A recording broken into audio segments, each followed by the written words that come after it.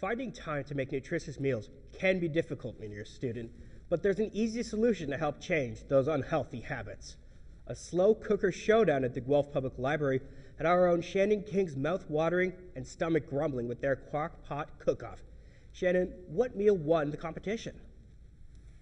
Andrew, it was a perfect recipe for students. The winning meal was slow cooked pork, but get this, there was beer in it. I had the great fortune of trying this delicious dish, and the beer was definitely complimentary to the pork. And no, the secret ingredient does not get you drunk. The beer actually slowly burns away during the cooking process, but it leaves this incredible flavor. So you throw your pork and your beer in the crock pot, put it on high for five to seven hours, and when you come home, it smells like you've been working in the kitchen all day long. Andrew?